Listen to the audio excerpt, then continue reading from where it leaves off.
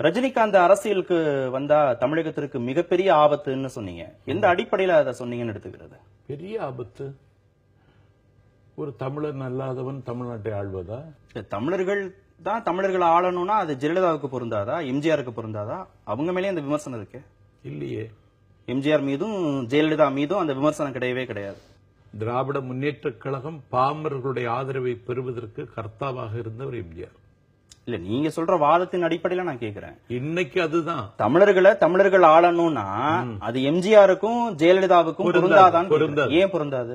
தமிழர்களாகவே வாழ்ந்தார்கள் தமிழ் இனத்திற்கு தங்கள் பங்களிப்பை நிறைய தந்தார்கள். இங்கேயும் அவரும் ரொம்ப நாள் இருக்க தானே செய்யறாரு ரஜினியும். நாற்பத்தி நான்கு ஆண்டு காலம் நான் வந்து தமிழகத்துல இருக்கிறேன்.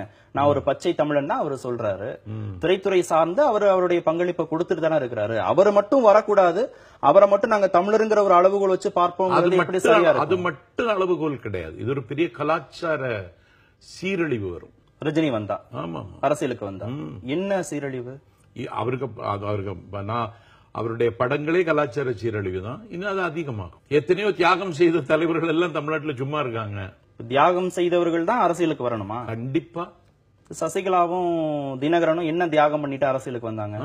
சசிகலாவும் தினகரனும் என்ன தியாகம் பண்ணிட்டு அரசியலுக்கு வந்தாங்க? முப்பத்தி மூன்று ஆண்டு காலம் அம்மாவுக்கு கூட இருந்தது தியாகம் இல்லையா?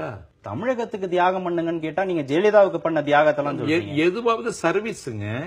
நான் சொல்றது வாழ்நாள் முழுவதும் சினிமாவில் நடிச்சிட்டு ஒரு கட்டத்துல நான் தமிழ்நாட்டுல அரசியலுக்கு வரேன்னா என்னது இது? இல்ல சார் நீங்க தான் சொல்றீங்க.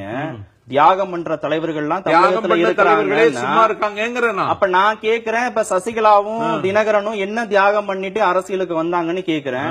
நீங்க ஜெயலலிதா கூட இருந்தாங்களே முப்பத்தி மூன்று ஆண்டுகள் சொல்றீங்க. தியாகம் தானே. முப்பத்தி மூன்று ஆண்டு காலம் ஜெயலலிதா கூட இருந்தது தியாகமா. அது ஒரு தகுதி போதும் அரசியலுக்கு ஒரு சுகங்களுக்கு அடிமை உறாத சூரிய பெருந்தாய் ஒரு ஒரு தலைவிக்கு கூட வானமும் சிறகுமாக இருக்கிற தியாகம் இல்லையா?